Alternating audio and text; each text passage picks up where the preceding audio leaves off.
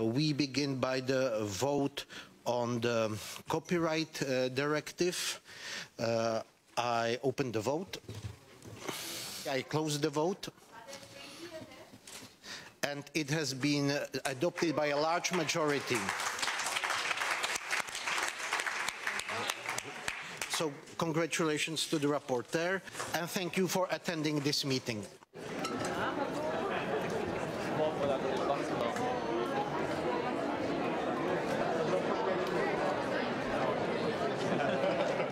Do an interview outside.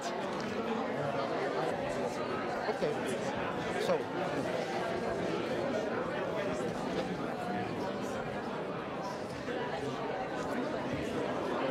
der letzte oder vorletzte Schritt, den wir jetzt hier im Rechtsausschuss gemacht haben, war auch noch mal wichtig als Grundlage für das Plenar, für die Plenarabstimmung.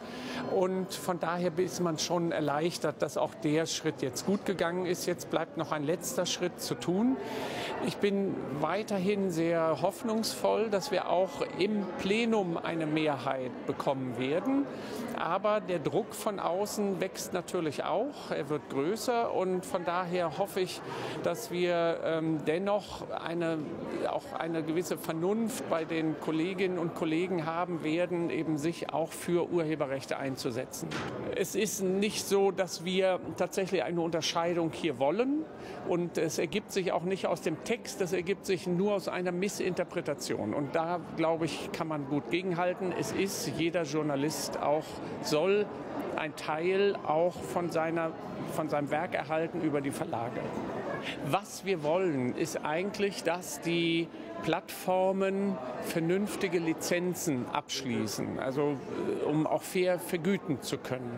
Was wir im Moment haben, ist, dass zum Teil nicht lizenziert wird, dass zum Teil zu wenig vergütet wird, dass es nur wie eine Art Trinkgeld ist. Und da wollen wir eigentlich dagegen arbeiten. Und das ist jetzt der Versuch, das in eine Balance zu bekommen.